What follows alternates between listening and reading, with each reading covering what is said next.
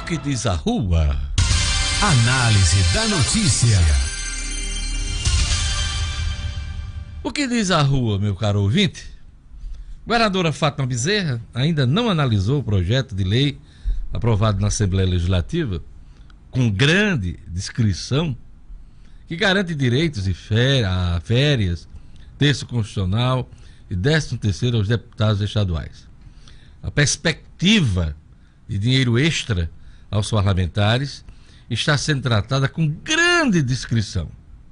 Segundo a assessoria do governo, Fátima Bezerra só deve decidir sobre a sanção ou veto no dia 20 de março. E eu não acredito que ela vete o gasto extra no parlamento estadual. Apesar das chuvas que caem desde o ano passado, com a expectativa de regularidade, o governo do estado vai prorrogar o decreto da seca. Fará isso pela 13 terceira vez consecutiva e deve alcançar 148 dos 167 municípios do estado. A maior justificativa para a reedição do decreto é o abastecimento de água humano, ainda bastante instável em vários lugares, algumas cidades em situação de pré-colapso no abastecimento de água. O que diz a rua também? O Tribunal Regional Eleitoral começa a julgar esta semana a troca de partidos após as eleições de outubro. O primeiro caso é o da deputada Cristiane Dantas, que troca o PPL, Partido da Pátria Livre, pelo Solidariedade.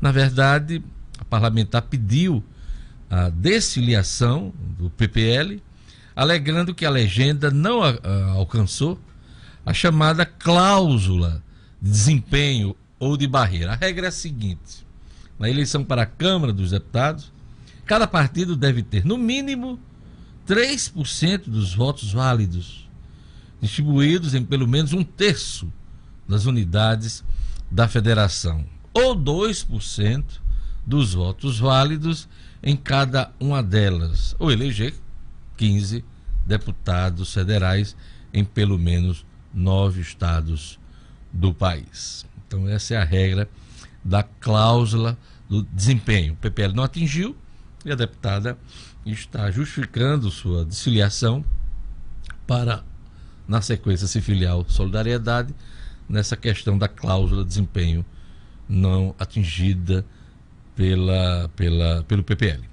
Por último, a rua comenta que a ajuda do governo federal aos estados vai depender do tamanho do ajuste fiscal em cada unidade federativa.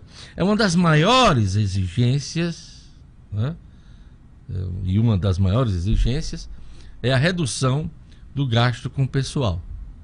Isso foi dito pelo ministro Paulo Guedes recentemente, em entrevista ao Estado de São Paulo. E esse plano, uh, que leva o nome do Mansueto, Mansueto é o secretário, um dos secretários do Paulo Guedes na área econômica, é, Mansueto Almeida, e ele é que está elaborando essa ajuda do governo federal aos estados. E um dos pontos mais importantes é a redução do gasto com o pessoal. E nesse ponto, nesse ponto, a governadora Fátima Bezerra vai ter que tomar decisões difíceis. E há quem diga que ela vai travar.